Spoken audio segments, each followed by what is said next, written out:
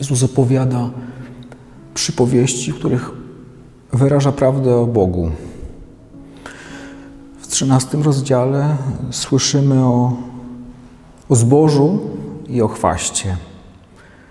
Zboże jest dobre i na początku jest tylko zboże. Ale przychodzi ktoś w nocy, nieprzyjaciel, który sieje chwast. I tak dzieje się zło. Ludzie chcą zaraz się rozprawić ze złem. Co na to Bóg? Bóg jasno odpowiada: Nie.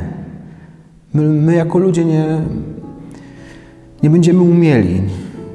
To nas przerośnie, żeby się rozprawić ze złem. To Jezus to zrobił, przychodząc i zwyciężając siły zła.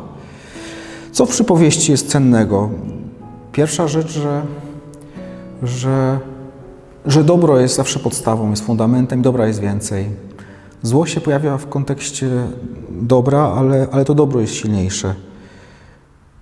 Bo my czasem myślimy, że jest odwrotnie, że, że zła jest więcej, że zło jest silniejsze. A druga rzecz to, żeby wtedy, kiedy będziemy walczyć ze złem, to żeby nie, my to nie robili własnymi siłami, tylko żebyśmy prosili, żeby to Jezus za nas zrobił.